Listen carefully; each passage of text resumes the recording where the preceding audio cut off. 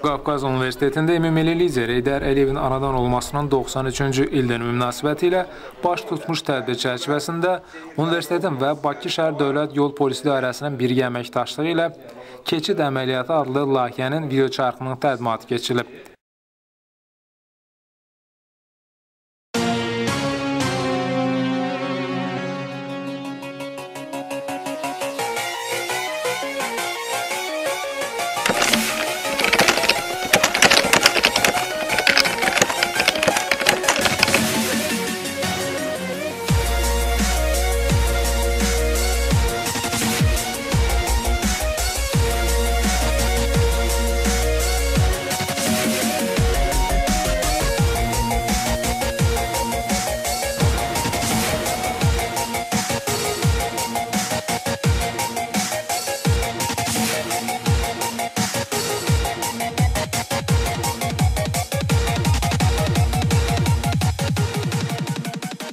Tədbirdə universitet rəhbərliyi, tələbələr, eyni zamanda Bakı şəhər Dövlət Yol Polisinin əməkdaşları və kütləvi informasiya vasitələrinin nümayəndələri iştirak ediblər.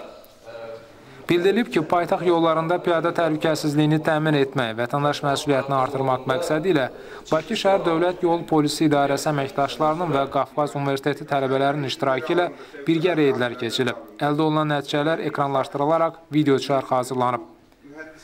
Bakı şəhər Dövlət Yol Polisi İdarəsinin İctimaiyyət Əlaqələr Şöbəsinin rəisi Vaqif Əsədovun sözlərinə görə bu kimi maarifləndirici layihələr nə qədər çox olarsa, piyadaların öz təhlükəsizlik qaydalarına əməl etmək istəyi bu yöndə diqqəti daha da artıra bilər.